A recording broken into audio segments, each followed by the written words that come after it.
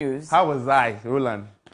But I love your shirt, by the way. Oh, thank you. It's but very nice. I, I, you know, this one looks like uh, it's how do you puff, ladies? What? How do you call Shoulder this pad. Uh, I tried. but you know tried, the shoulder pads are back.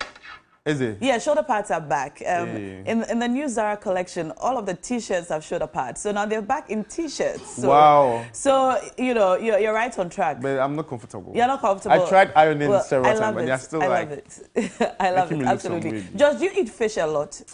I'm not a big fan. You're not a Give big me fan. meat, goat, and you know. Oh, I see. I'm not a big fan. But if I'll do fish, I'll go for cassava fish. Cassava fish. Oh, I see. Well, for, for those of us who love fish, um, the, the news yesterday Mm. Oh, about yeah. a, a three-year moratorium on um, the new entrant canoes Yeah, hit us a yeah. bit. I'm wondering how that affects um, the fish that we consume. Exactly. And whether or not we are going to still have as much. Yeah, as we require. So but, uh, but yes, I'm a yes, big Josh. fan of uh, what's the name, uh, octopus. So there's this one that I buy from like at uh, Jolu.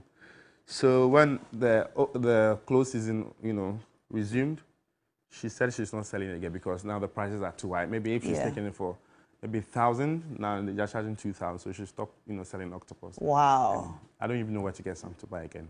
I have always wondered why the cost of fish is so high when we live so close to the coast. Exactly. Anyway. Even in Kumasi, it's not like that. Even in Kumasi, it's not like that, eh? Yeah, Kumasi, if you buy maybe tuna or something, those things, they're not expensive. But there's no in Kumasi. So the, it's an the irony, thing. eh? I see. Anyway, George, Yeah. thank but you so before I go, what do you make of uh, Josafo's decision to apologize? I Adwo think everyone needs a second chance, but Adwo Asafo. Adwo Yeah. But we've seen it before. Somehwe. Mepa mucho somehwe. so We've it, seen it it before. feel this more like a political gimmick. Uh, this one, yeah. Somehwe again, The, yeah. the rest of We've the, the, the constituents are not barging. Ah, honestly. somehwe. She wants us to go and do somehwe again. Oh, Charlie. Anyway. The Yeah, I don't live in not her happy, but- constituency. so- Exactly. But you know, her apology was not only to her constituents. yeah, to the party as well. Yeah, to the party as well. Well, It seemed like a national apology. Since it was a televised uh, Yeah. apology, you would have thought that she would have spoken to her party people and spoken to her people. Mm. But because she televised it, I guess it's for all of us. When we were complaining, she was Because when we were accent. complaining, yes, everybody was complaining. But she even was people still, she was still having an accent, locally She was acquired an- eh, accent.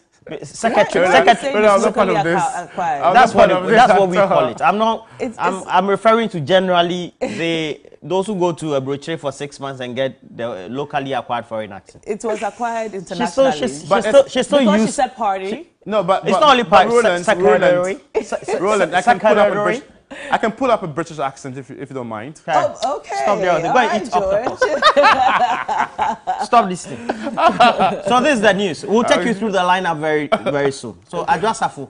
Uh, We'll talk about Adwoa Safo. Adwoa Safo. Sec- secretary.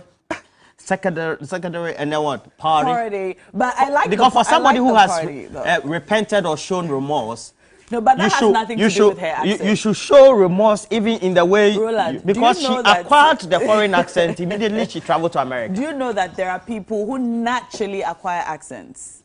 Na- they- naturally, it's not intentional. So they go to Nigeria for two days and they would have a Nigerian accent. You mean there are people like that in the world? There are people like that in the world who naturally pick And up they are in accents. Ghana. They are everywhere in the world.